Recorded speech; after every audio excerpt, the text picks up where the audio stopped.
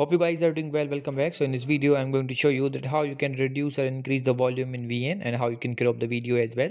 So let's start. So first of all, what we have to do, we have to open the VN. I'm going to open that. So as you can see, the VN is open. Now simply we have to click on the new project. So let's click on the new project. And after clicking on the new project, we have to choose the video that which video you want to use. For example, I want to use this one. So let's select this.